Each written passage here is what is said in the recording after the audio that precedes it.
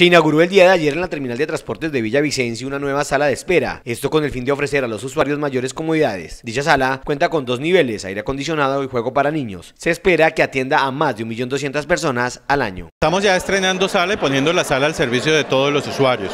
234 metros totalmente remodelados, con condiciones que generan una mejor experiencia a los usuarios en la terminal. Aire acondicionado, wifi, televisión y lo mejor de todo, completamente gratis. Lo único que tienen que hacer es adquirir un tiquete en cualquiera de las empresas de su preferencia para la ruta que quieran viajar y pueden venir, acceder y disfrutar de esta experiencia.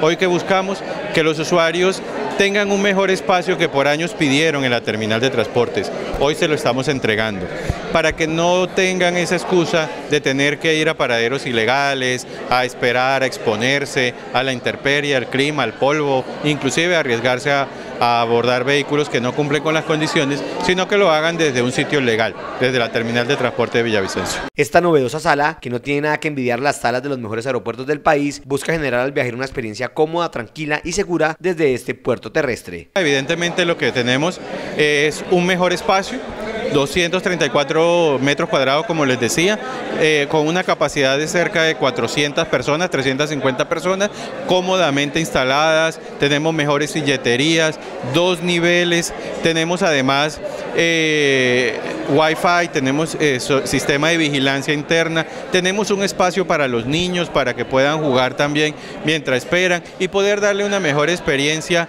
a todos los usuarios. Tenemos una novedad también que son los apoyos isquiáticos, es una novedad en, la terminal de transportes, además eh, digamos que hemos querido como como implementarlos para ver cómo les resultan a los, a los usuarios. Son unos soportes que le permiten al usuario eh, descansar, pero sin tener que, que, de pronto ocupar mucho espacio y poder pues tener eh, eh, una, una mejor experiencia dentro de la sala. El alcalde de Villavicencio también destacó esta nueva sala y señaló que la terminal de transportes de esta ciudad viene mejorando considerablemente, ofreciendo mejores garantías para sus usuarios. Eso significa que ofrecemos unas mejores condiciones para los usuarios, no es solamente combatir el transporte ilegal a los paraderos, satélites ilegales eh, a través de los operativos, sino todos los días ofrecer unas mejores condiciones para que los ciudadanos vengan a la terminal de transporte. Un millón, doscientas mil personas pasan por la terminal en un año y esperamos que todas ellas, unas puedan utilizar la zona